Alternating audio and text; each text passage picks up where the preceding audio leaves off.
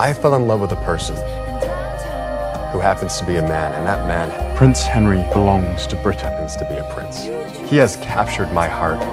Can he ever belong to someone else? I want you to have some part of me, only momentarily, until you can have all of me again. It's like there's a rope attached to my chest. And it keeps pulling me towards you.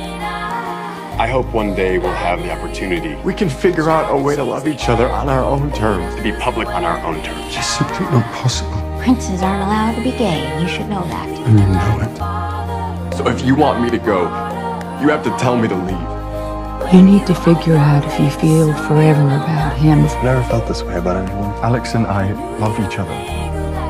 Because I would never leave this room if I didn't think there was any hope of holding on to the happiness that I found with you.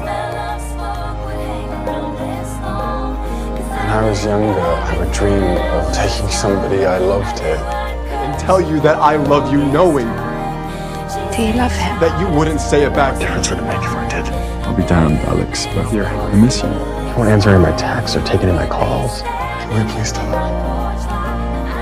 When we're apart, your body comes back to me in my dreams. History, huh? Yeah, we could make